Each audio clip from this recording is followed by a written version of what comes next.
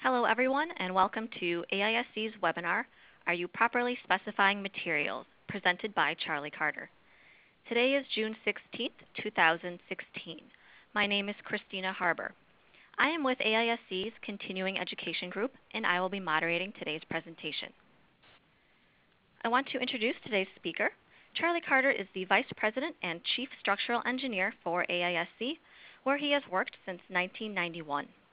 He received his Bachelor and Master of Science degrees in Architectural Engineering from Penn State University and his PhD in Civil and Architectural Engineering from the Illinois Institute of Technology.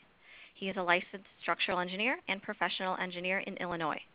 Charlie serves as the secretary of the AISC Committee on the Code of Standard Practice and is a member of many other committees and professional associations related to the design of buildings and steel structures.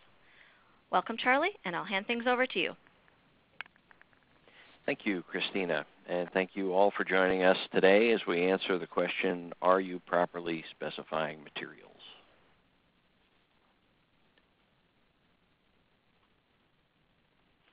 Those of you who keep up with the information we put in the AISC magazine, Modern Steel Construction, likely are aware of the article shown here and carrying the same title. In fact, most of what I'll tell you today uh, appears in that article, and the article is in the handout that you can download for this webinar. The article most recently appeared in the February 2015 issue of Modern Steel Construction magazine.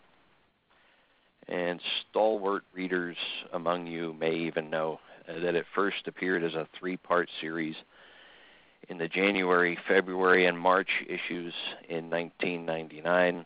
Uh, you can get a feel for how much has changed since then if you go on the AISC website, excuse me, the Modern Steel Construction Magazine website, and look in the archives.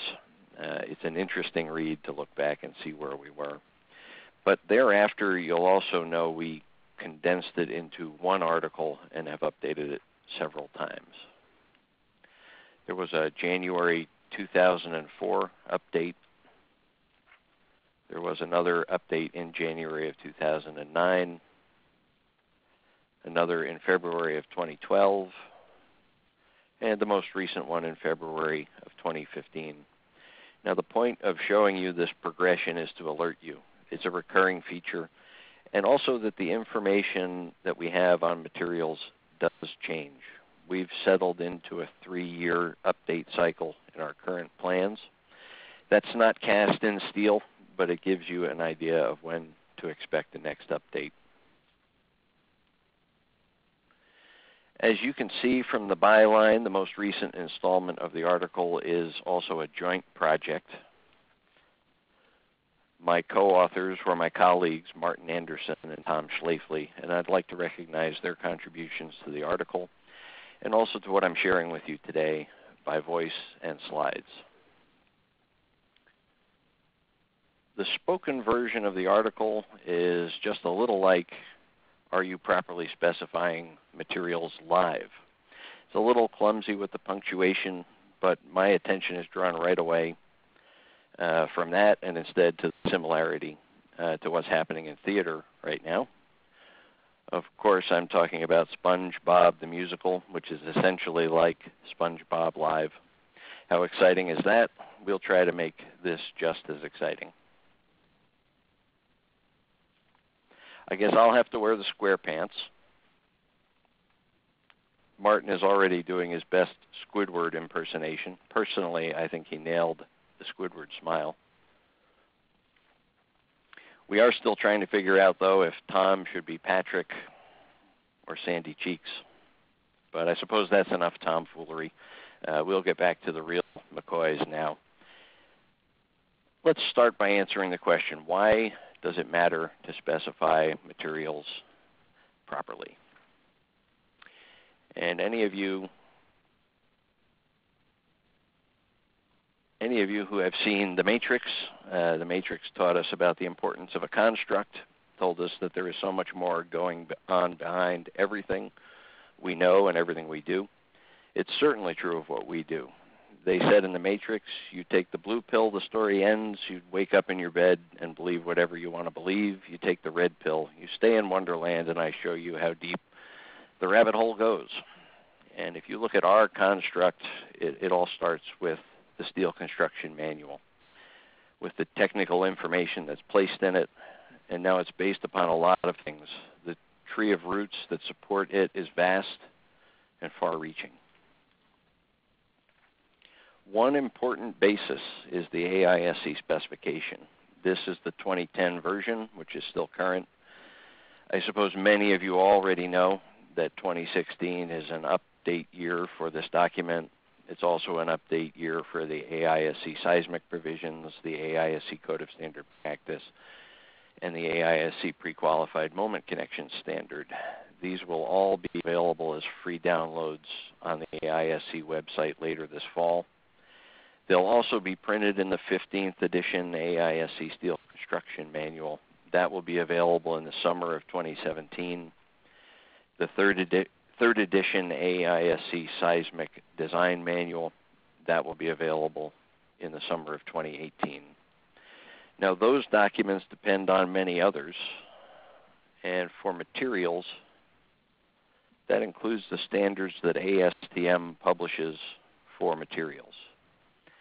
Shown here is the big book of ASTM standards, and there are so many standards in that big book. It really is an assembly of many volumes of standards, not just a single book. To ease that a little bit, uh, we deal with a lot of standards, but we deal with few enough that we can do a custom compilation. And ASTM publishes such a custom compilation for us. I'm showing you the 2013 cover in this slide. That version is still available in the AISC bookstore, but let me also tell you that we recently ordered the 2016 update to this compilation. We usually do it every two years. We waited an extra year this time because we wanted to have the standards in the form that they referenced in the 2016 AISC standards uh, and have everything as coordinated as possible. We actually expect to receive that update from ASTM this month. You'll see an announcement uh, through AISC email uh, and also on the AISC website when they're available. Uh, the cost for the custom compilation is $280 for AISC members, and I'll just point out that's a screaming deal if you compare it to the cost of the several volumes you'd need to get the same information from a, a set of uh, volumes of the ASTM Annual Book of Standards.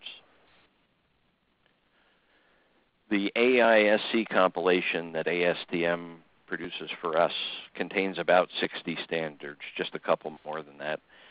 It includes all of the common standards uh, that we use in steel design and construction.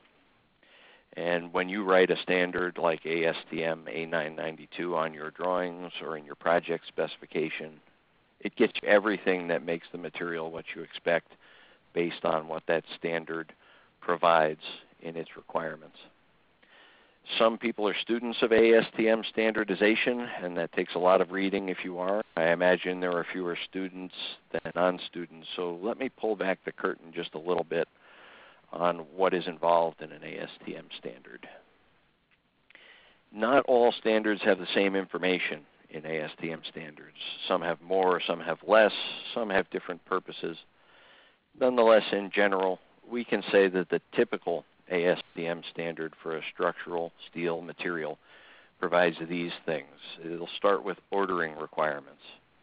It'll provide mechanical requirements like the yield strength, the tensile strength, and elongation requirements. It'll provide chemical composition requirements, process requirements, testing requirements, tolerances for the cross section, the curvature of the member produced, and it, other things like that. It'll provide provisions for repair of defects and reporting requirements. Now that's a lot of backup that you're able to get when you call out an ASTM standard simply by writing the name of the ASTM standard. And that's important. It's what everything is based on. Now we also know we have many options and they're collectively a lot like this array of phone chargers. We need to have the right one. We need to have the one we need, and uh, excuse me, the one we need and the right one for the device we want to charge if we're going to charge a phone. And we get into trouble when we don't have the right one. Well, this article and lecture is about having the right connection similarly for the materials that we use. So if we're right, it's a winning situation for sure, but how do we go about doing that? Well, that's what we're here to talk about today. One way, and it's in simplest form, I think, is to look at the AISC Code of Standard Practice and follow what's in it. More specifically, I'm talking about a table that's provided in section 6.1.1. That table is intended for a different purpose. It's in the material identification section, and it is intended to simplify material identification in the shop and field by allowing that the standard grades for materials don't have to be specially marked. Since they're the preferred grade, that's what's going to be usual. We just require marking of other grades so that they can be properly differentiated. But if you take a step back, you'll see that this is really this table is really like a quick reference card of sorts. It shows you all of the preferred ASTM standards for the common materials. Note that I'm showing you the 2016 version of this table, and there are two changes to highlight from the previous version in the 2010 Code of Standard Practice. The first is that HP shapes, also called bearing piles, are now most commonly ASTM A572 grade 50 material. No longer is A36 the most common for them. The second is to note that hollow structural sections today are most commonly ASTM A500 grade C. We used to list uh, grade B, I'm sorry. Uh, they used to be most commonly grade B. Now I'll point you to the list of standards in this list that correspond to A36, uh, and I'll make a few more comments on that later uh, so keep that in mind. Uh, this listing, you must show one standard. You can't just list one or the other because it's an identification process, and you have to pick one or the other. But keep that in mind. We'll return to that later in the lecture. Now you also know that, or you likely know that in part two of the AISC manual, we provide similar guidance that's more extensive on materials. In fact, that section of the manual has information that works hand in hand and is often coordinated with what we put in the article that we're discussing today. There's text that explains and tables that summarize. The tables best capture the visual illustrations. So what I'll do today is use those and then make some specific comments. Let's look at the tables from the article and use those to start off in each of the tables, what we've done is we've listed the ASTM standards down the left column, and then the products across the top of the table. There's dark shading for the preferred material. This tells you what ASTM standard you should be using in the typical case. It's the most commonly available material for that type of product. There also are other options for each product in many cases, if not most cases. That's the lighter shading to show which other ASTM standards are applicable to a specific product. You can always consider these alternatives, but we recommend that you talk to a fabricator or a supplier to make sure the cost and availability will meet your needs. So zooming in a little bit to the upper right of what I just showed you, you can see there's a table for the various structural shapes. There's a table for plates and bars. And there's a third table that covers structural fasteners.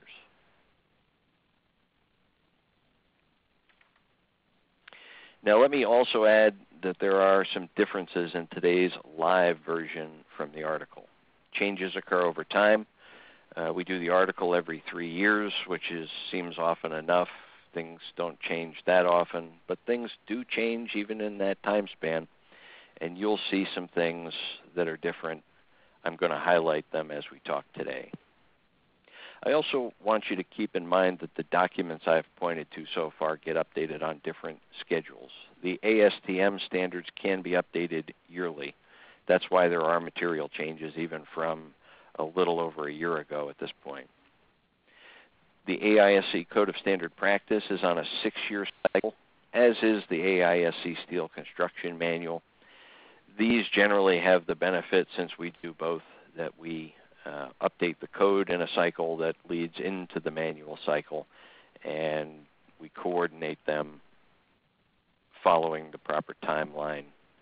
And uh, the feature article in Modern Steel Construction appears about every three years. We also provide specific articles when major changes occur in between. Ultimately, today's live webinar gives you a preview of what you'll see in the 15th edition AISC Steel Construction Manual.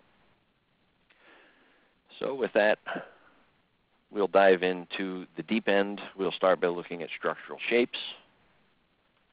And we can start with W shapes, but permit me a brief digression. I'm illustrating the W shape with a scan of a page from an early 1900s era Carnegie Steel Company handbook, long before they were called W shapes.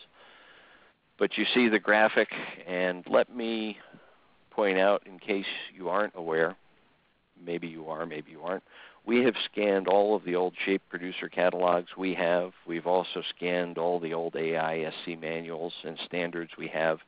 Anything in our library that we own, we've scanned and we've put somewhere on our on the AISC website.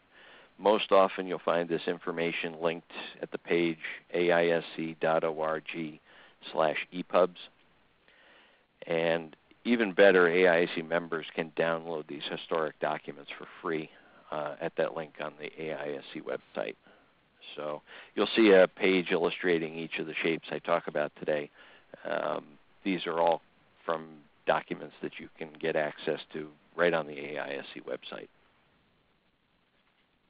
Okay, so back to the lecture.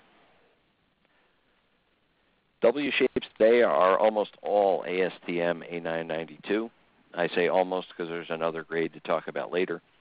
And you can see the mechanical properties for A992 as shown on the slide. This is pretty uh, run-of-the-mill for today. Everybody's used to this at this point. It's been a number of years since A992 took over. If you need atmospheric corrosion resistance, so-called weathering steel, uh, there is ASTM A588 that's available as an alternative. And if you need really big shapes, you may also want to think about that alternative grade. Here is Tom Schlafly holding a 3 16 inch thick sliver uh, of a W36 by 925. That, that little sliver weighs about 15 pounds, by the way. It also happens to be that alternative material that I mentioned, ASTM A913.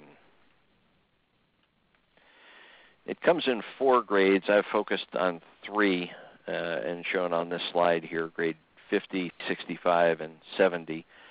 This particular piece is from a grade 65 cross-section. Uh, the grade I've not shown is grade 60. Uh, ArcelorMittal has made quite a business providing this product for applications such as columns with lots of axial load, uh, long span truss chords, and similar applications. Although it isn't identified as the preferred material, there, there's a range over which it, it's, it is economical and not difficult to get. The range of availability is based upon minimum sizes as shown here. This is produced by a quenching and self-tempering process and there needs to be a minimum thickness in order to have enough heat inside the cooled outside uh, so that the quench uh, can actually self-temper with the heat that remains. And so you see the minimums here.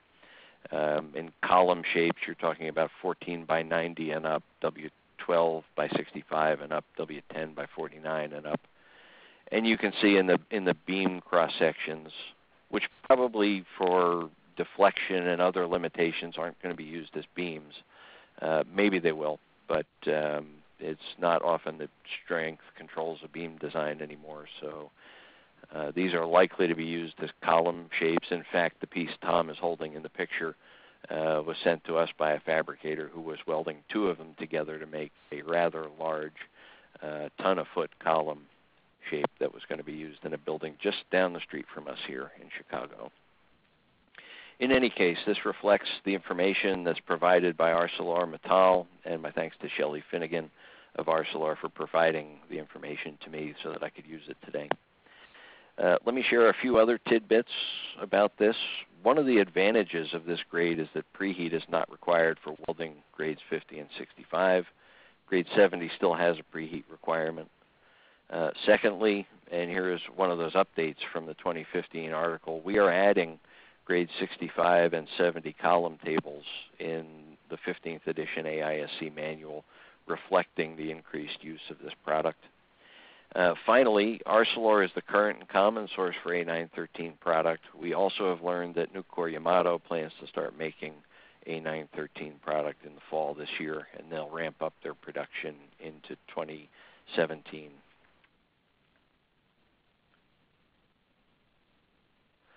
Let me also point you to this article in the December 2012 issue of Modern Steel Construction magazine for some supporting information. It's in the PDF handout for the lecture as well.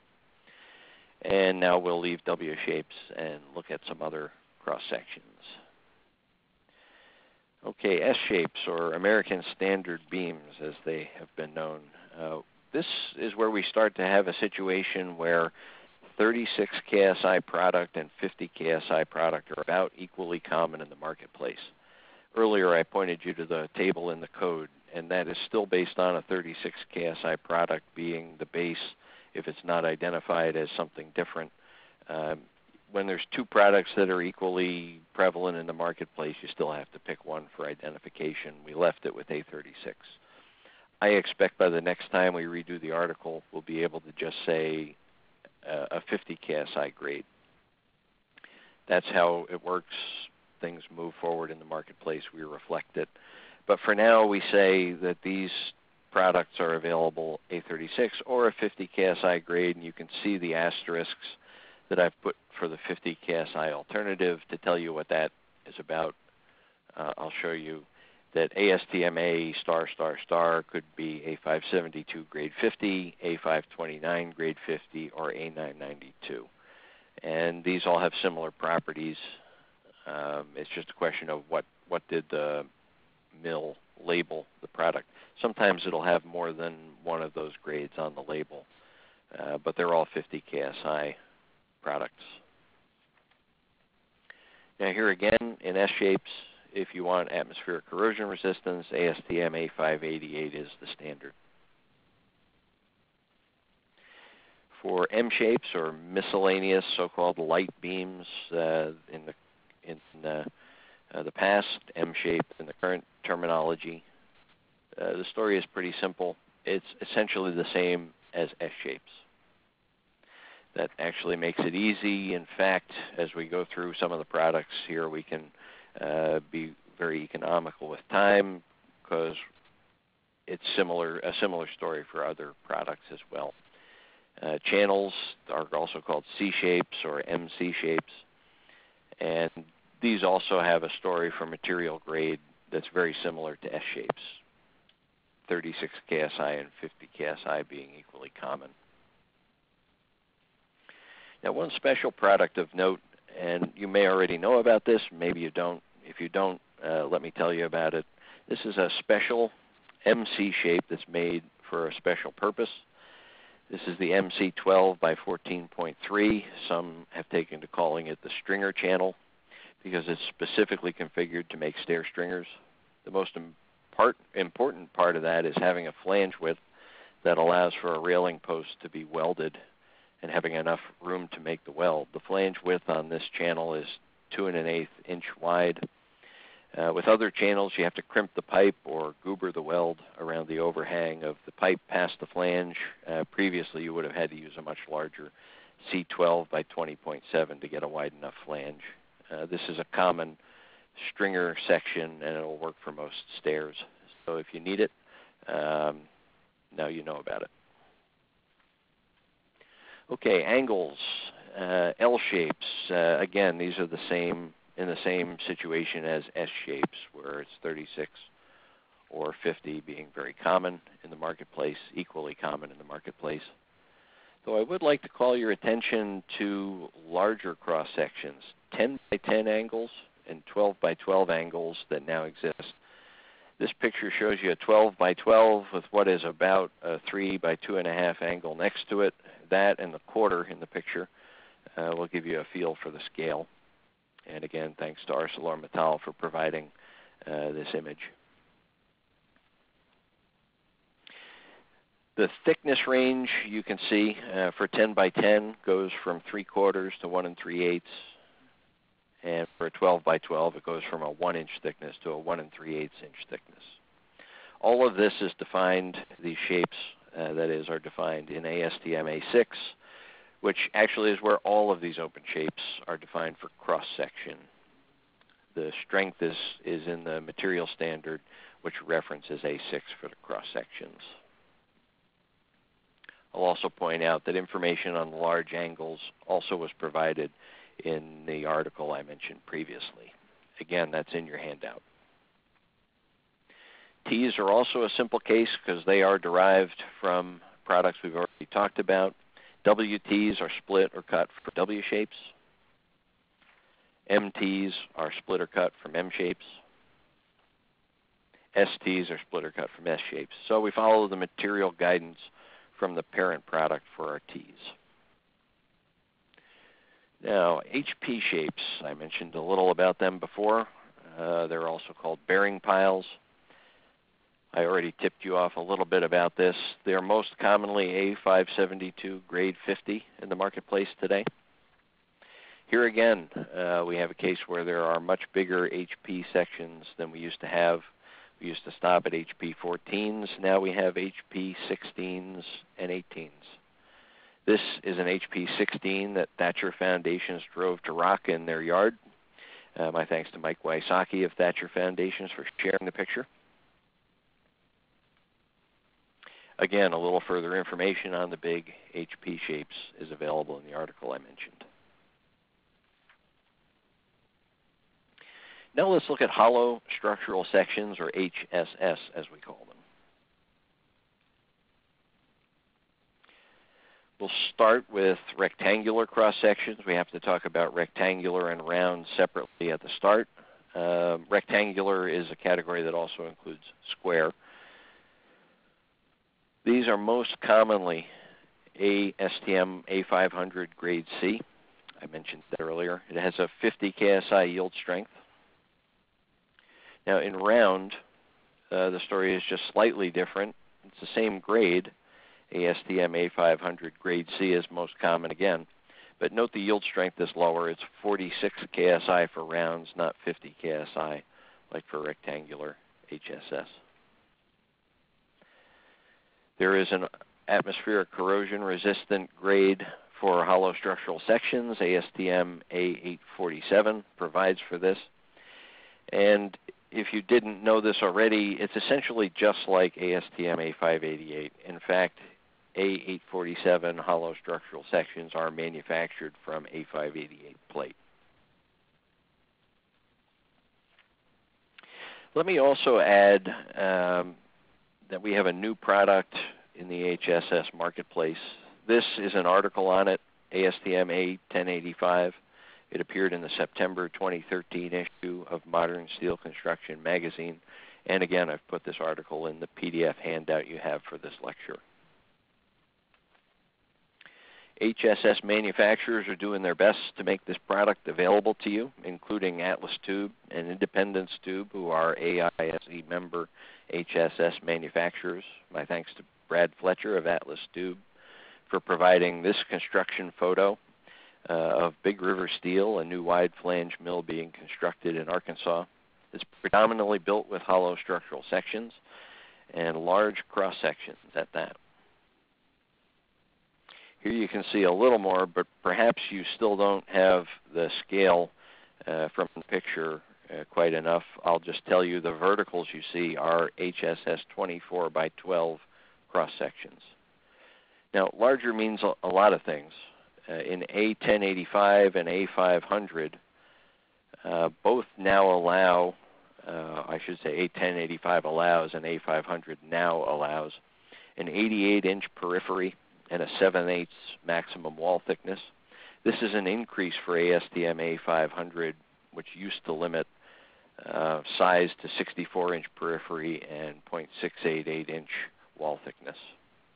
Uh, secondly, this allows larger uh, walls on rectangular and square cross sections.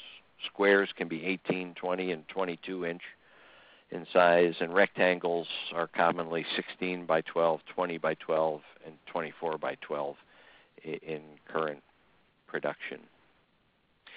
There also is a second new standard I should mention uh, that can be considered when large cross sections are desired, ASTM A1065. This covers up to a 192 inch periphery and a 1 inch wall thickness. And this is a slightly different approach to production. This is where two C shapes are made at a plate and then they're welded together. And that's specifically covered in A1065. And that's how come it can be so much bigger. If you'd like further information on these, there's an article for that too. For further information, see this article that I'm showing you, which was in the November 2011 issue of Modern Steel Construction. Again, it's in the PDF handout that we've provided for the lecture. Now, let me back up a little bit and give you a few more details on ASTM A1085. One key point is that it has the same mechanical properties with FY of 50 KSI for both round and rectangular cross sections. So it doesn't change when we go from rectangular to round in a 1085 material. Another feature is that the wall thickness tolerance is smaller than for A500. So where we have to reduce the wall thickness by 7% when we design with an ASTM A500 product, we do not have to do that for ASTM A1085 product uh, I'll add we don't have to do that for a 1065 product either, and these will be reflected in the 2016 version of the AISC specification, um, which is winding its way through typesetting and publication right now. Another feature is A1085 has a maximum tensile strength. This helps to increase the ductility of the material. It also keeps seismic design factors RY and RT uh, lower. And a final item to point out about A1085 is that it has a specified toughness value. And this is of benefit because it allowed us to eliminate the restriction that's written into ASTM A500 uh, against use in dynamically loaded welded structures, essentially bridges uh, can't use a 500 without doing something special. A 1085 could be used because it has inherent toughness specified in the standard. Now we like this material a lot, but I'll re reiterate that ASTM A500 grade C is still more common in the marketplace, and you should talk to your fabricator about A1085 if you want to use it. You also could contact Atlas Tube and Independence Tube and I'm sure they will be very helpful to you if you do. Let's move on a little bit, still in a hollow cross section, but uh, I'll talk about steel pipe now. Steel pipe is made to ASTM A53 grade B, and you can see the mechanical properties. It has a yield strength of 35 KSI that's lower than we have for round hollow structural sections, and let me expand on that a little bit. It's important to note that round hollow structural sections and steel pipe are not identical and are not interchangeable as products. They're made to different ASTM standards, A500 grade C being most common for round HSS, A53 grade B being most common uh, the only standard actually for steel pipe. They also have different strength levels. The yield strength for round HSS is 46 KSI. the yield strength for steel pipe is 35 KSI. There's also a different system of designation as well. The hollow structural section designation has uh, decimals for round, decimals to three places. That incidentally also differs from how rectangular HSS are specified. Those use fractional uh, designation form when they have fractions. But round HSS, the one I'm illustrating here, HSS 5.563 by 0.258. Compare that to the steel pipe designation, pipe 5 standard, very different. Now, I should also point out that there are some similarities. In fact, the two designations shown here, HSS 5.563 by 0.258, Pipe 5 standard, have the same physical cross section. So uh, this is another tidbit I, I would like to note. Round HSS are most commonly stocked and available in the cross sections that match up with pipe cross sections. Unless you know you can get the others, and by that I mean all the other round HSS cross sections, I suggest you should avoid specifying non-pipe cross sections in hollow structural sections. Now that sounds difficult to do, and maybe I've confused you, but let me tell you the easy way to do it. If you look at the diameter that's in the HSS designation, all of the round HSS cross sections that match pipe cross sections have non-zero numbers after the decimal point in the diameter. And that's the indicator that it matches a pipe cross section. There are other HSS cross sections that have 0.000 in the diameter, and those are the ones that don't match up with pipe cross sections.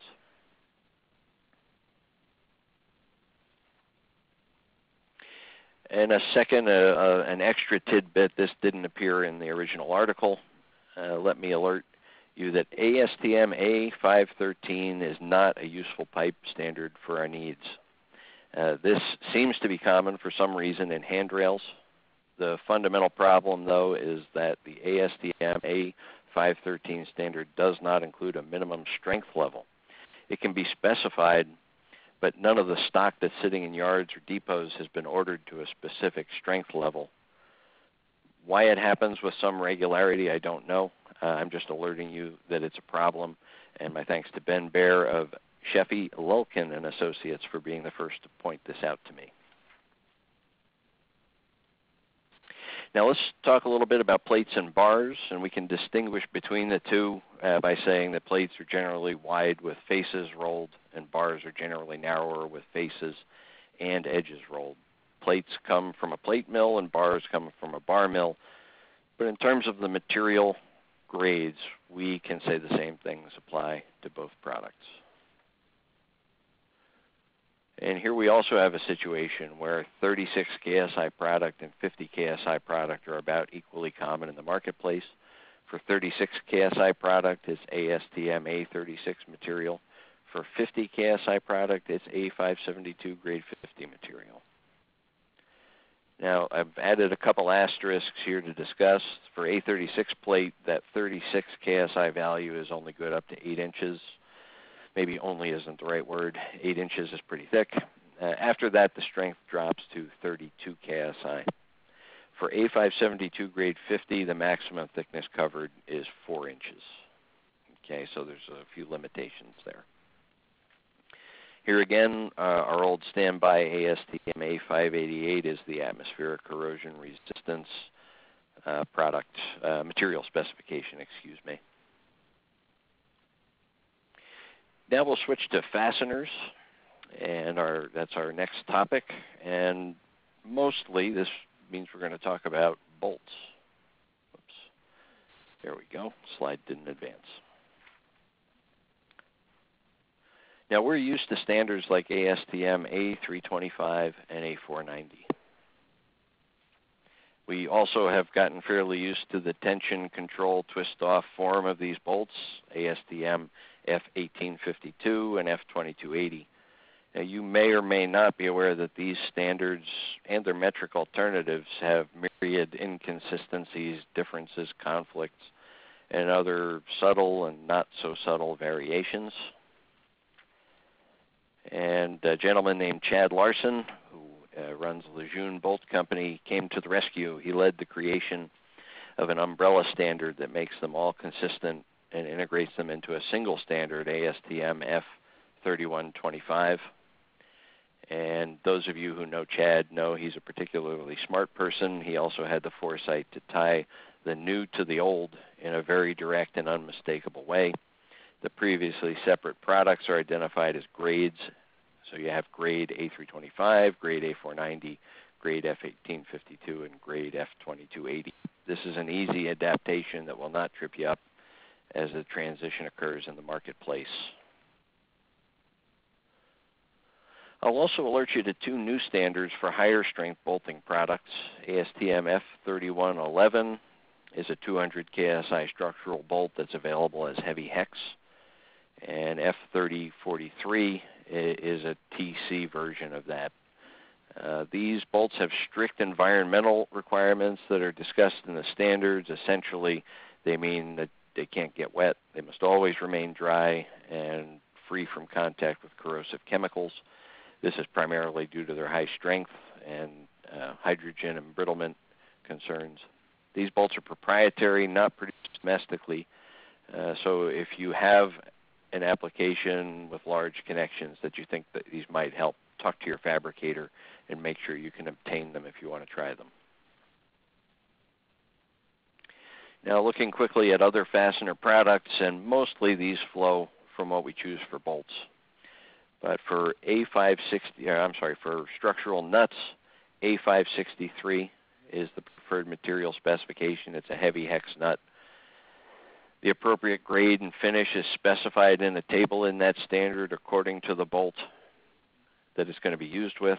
And for steel to steel structural bolting applications, you can also get a summary of the appropriate grade and finish in section 2.4 of the Research Council on Structural Connections RCSC specification. It's a free download from the RCSC website, which is boltcouncil.org. Moving on to washers, the preferred material specification is ASTM F436. This specification provides for both flat and beveled washers. Uh, it used to only cover a 5 32 inch thick um, F436 washer, but recently an extra thick option was added to provide for those cases in the RCSC specification where oversized and slotted holes occur in an outer ply, and the table in, in Part 6 of the RCSC specification requires uh, twice the thickness. And then finishing up on this slide, uh, for DTIs, when bolted, joints are specified as pre-tensioned or slip critical, and the direct tension indicator pre-tensioning method is used. We look at ASTM F959 DTIs. Uh, the use of the device conforms to the requirements in RCSC's specification, uh, specifically the installation ver pre-installation verification required in Section 7, the installation required in Section 8, and the inspection required in Section 9. There is an alternative permitted, uh, alternative indicating devices can be used according to Section 2.6.2, and sometimes manufacturers provide these and would like you to use those provisions instead. Let's talk now about anchor rods, which I'll say now are not bolts. Uh, we're normally talking about ASTM F1554. That is the pref preferred material specification for anchor rods. It covers hooked, headed, and threaded and nutted anchor rods, and it provides three strength grades 36, 55, and 105. It's most commonly specified as grade 55, although grades 36 and 105 are normally available. Section 4.1 in ASTM F1554 provides that when grade 36 is ordered, the supplier can substitute a weldable grade 55 at their option. Grade 36 may be weldable. Uh, I'm sorry, is weldable. Uh, grade 55 requires a supplement uh, to be weldable, and grade 105 generally is not weldable.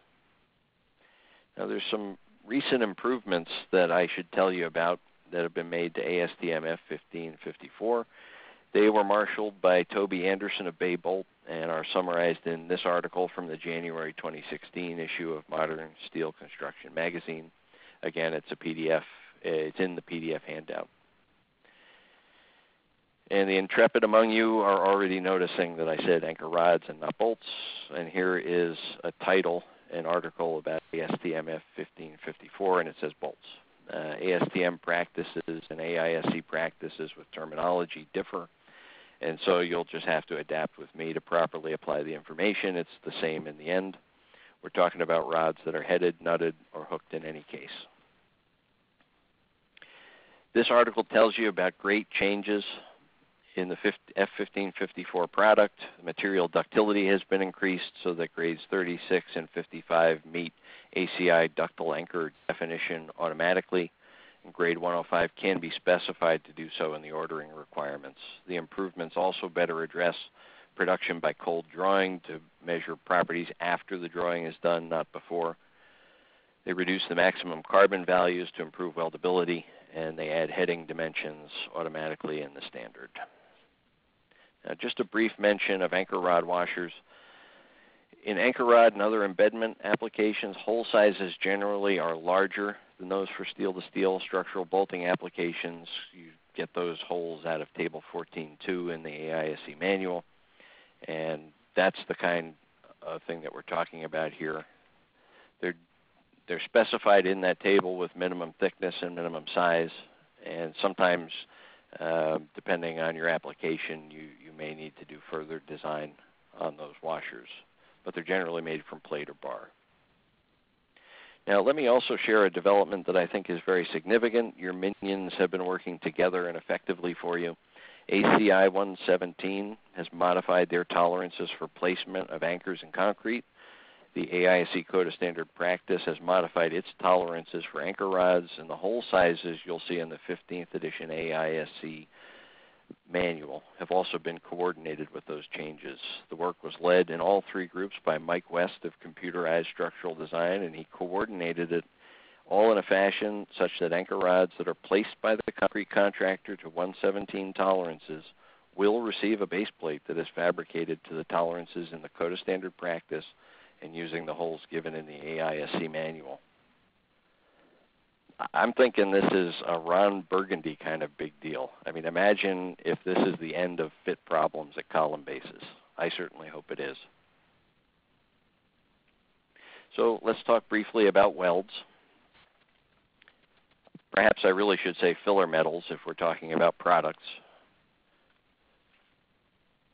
And most commonly, you're going to find that you're dealing with uh, an electrode that has a strength level of 70 KSI. Anything other that, than that, and I suggest you talk to your fabricator. This is the generic form of the expression using FEXX. In reality, that generalizes a lot of options in the welding world.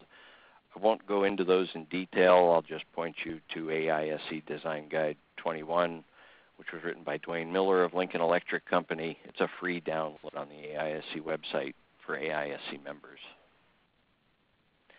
Let me also alert you to one recent development, AWS A5.36.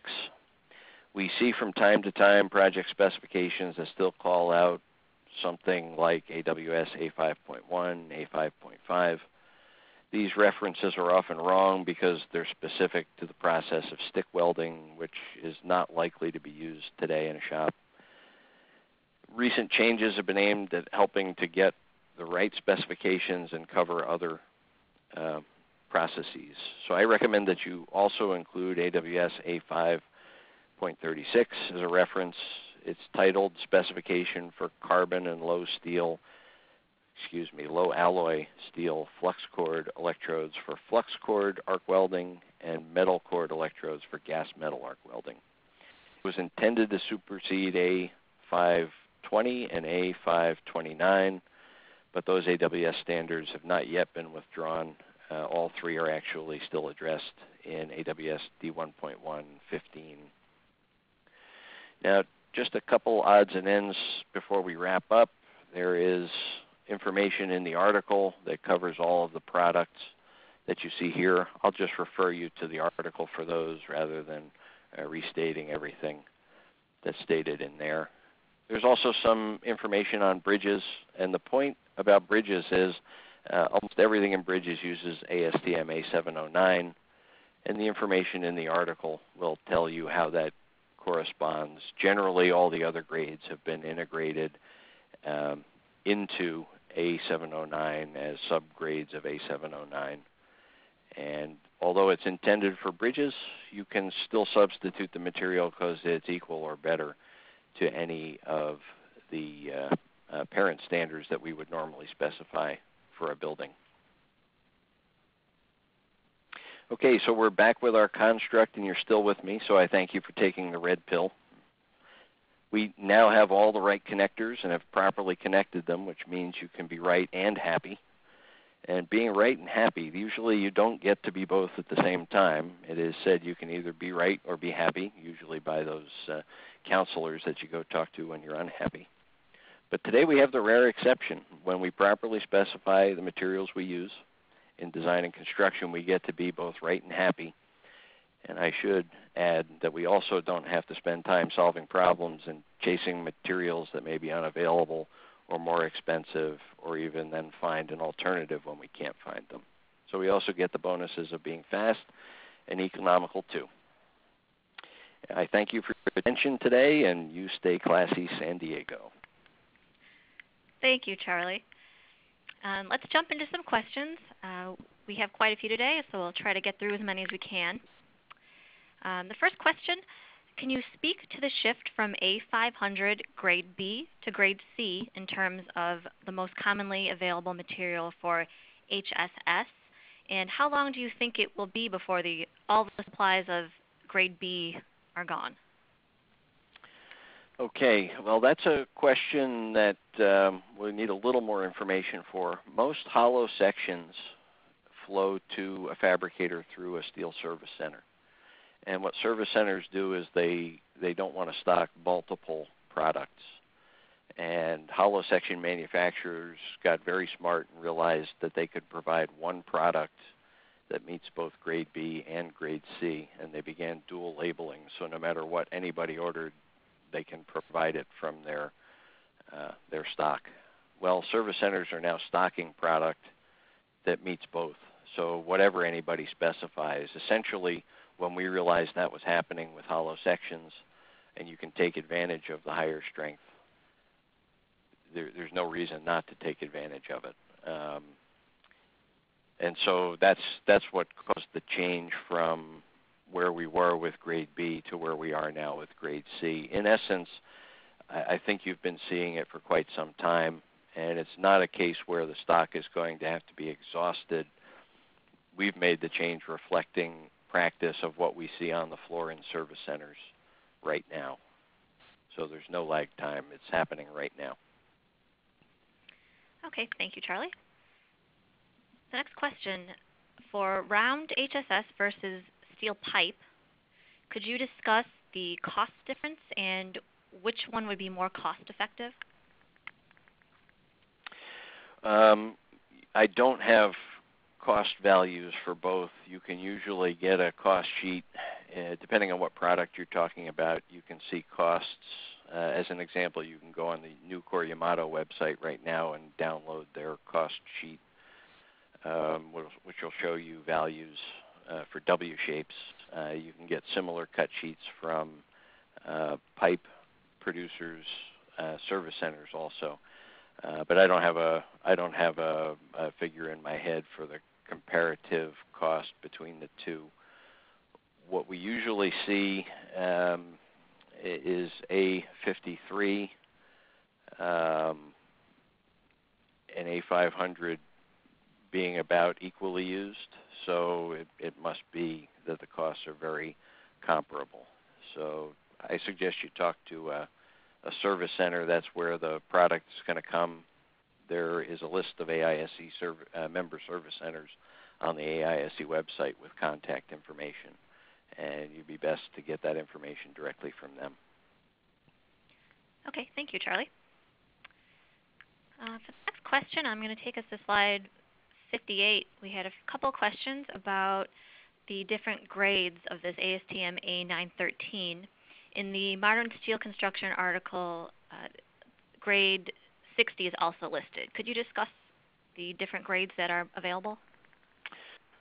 Right. Well, the, the grade 50, grade 65, and grade 70 are the three that I highlighted on the slide. In, in words, I mentioned grade 60. Um, the most commonly used grade of A913 that I've seen has been 65. I think where people have used A913 grade 50, uh, it's been uh, in cases where they would like to uh, take advantage of the preheat uh, or the the the, um, the, the lack of a need for preheat when welding grade 50.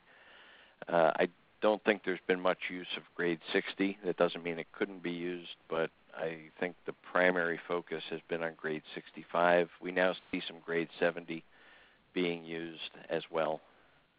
Uh, in terms of A913, I think going forward what you're going to see is product either in 50 or 65, 70 when you can uh, justify the, say, the added cost, uh, particularly of the welding with preheat. Okay, thank you. For the next question, uh, we will be discussing A1085 steel versus A500. We have a couple questions about using the thickness versus 0.93 the thickness. Could you expand on this concept again? Yes. Um, when you look at A500, it has a, a, a, wall thickness tolerance of about 10%, and actual production is pretty close to that. And long ago, um, several versions of the AISC specification ago, we introduced a, a factor 0.93 times the thickness um, A1085 was created as a way to eliminate the need to do that. It, it has a tighter tolerance, uh, 5% tolerance, which brings it very close to the variation you'll get, say, on a W shape in terms of cross-sectional area. And there's no need to apply that 7% reduction, the 0.93 factor on the thickness when doing the calculations when using a1085. It's a big plus for the for the for the material. Uh, we'd love it to take off in the marketplace. What I've shown you here and told you about reflects what we actually see with A500 grade C being still more common. Uh, it doesn't change that we would love to see uh, A1085 take off and uh, uh, take over. Okay, thank you. And next we'll move on to the topic of bolts. When specifying an ASTM standard for bolts, do you also need to specify N or X bolts? So A325, A490, uh, those products uh, completely describe the fastener that you're going to get. Now it's F3125, grade A325, grade A490 the N or X condition is, is purely something that happens from the way you decide to design it and how you configure the plies of the grip. There's actually an article in the Engineering Journal uh, written by your esteemed speaker on uh, uh, specifying uh, bolt length and uh, how to exclude or uh, otherwise you're allowing the threads to be included and uh, it's purely it's the same fastener in either one, same fastener for a slip critical joint. Uh, some people think that you have to specify in your purchasing A325N, A325X, A325SC. I guarantee you that the person receiving the order at the bolt uh, company uh, laughs a little bit when he sees it or she sees it, but uh, it's not necessary to do that when you order the product. You just order A, A325 and now you'll for grade A325 from F3125. Okay, thank you. And for the next question, are any of the new high-strength bolts weldable? Bolts generally uh, should not be welded. Uh, I'm not sure why you would want to weld them. They're made to go together using the threads and a nut, washers. Uh, I guess sometimes we uh, might try to tack the heads to something. I, I, I've seen cases, but those should be pretty rare. Uh, you've got high strength fasteners that have heat treatment, and I would be very cautious about welding on them. Okay, uh, the next question. For most shapes that are equally present in the marketplace as 50 KSI or 36 KSI, is there a price difference? There can be, and I suppose it would matter uh, what shape we're talking about. Here again, uh, for price, absolutely the best thing to do. The information is commonly on producer websites right now. Uh, you can download their uh, uh, their their cost structure, and you'll see what a what a mill is charging when someone buys the steel, and you can see the the variations. Um, it's interesting that uh, the the upcharges for stronger material these days often don't keep pace with the increase in strength. You pay uh, comparatively less for the increase in strength is what we see. But you have you have to look at the at the uh, information the, uh, the mills provide. It can change. It does change, just like the requirements in the standards change. Mills update their pricing periodically, and you've got to you've got to be responsive to that. Uh, I can't give you a general rule or state prices uh, in the lecture. Okay, thank you, Charlie. And we have one more question, and I don't know if you know the answer to this or if you might have to conjecture. What is the single most common misspecification with regard to steel material?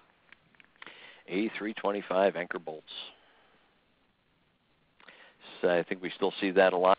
Uh, I, that's why I tried to highlight that uh, anchor rods are not bolts, and uh, that's another place where somebody laughs and um, they just make it out of A449, um, and they make it as long as you specified it, and uh, um, people think that they they got A325 anchor bolts. So uh, you know, pay attention to the material specification, make it proper, and uh, uh, you can stop people from laughing. Another benefit I forgot to add. Okay, thank you, Charlie. Unfortunately, that's all the time we have today for questions. There are quite a few unanswered questions, so we will respond to you by email with an answer.